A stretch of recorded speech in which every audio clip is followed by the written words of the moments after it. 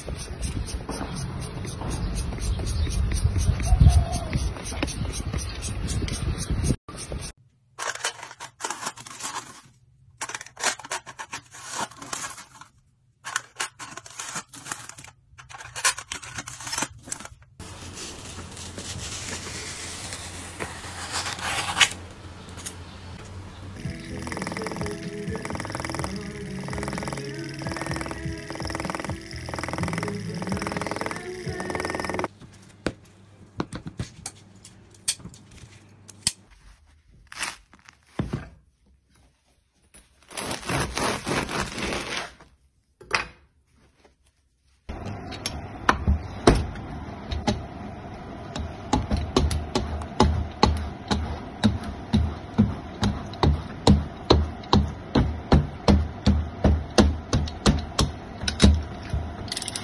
Thứ này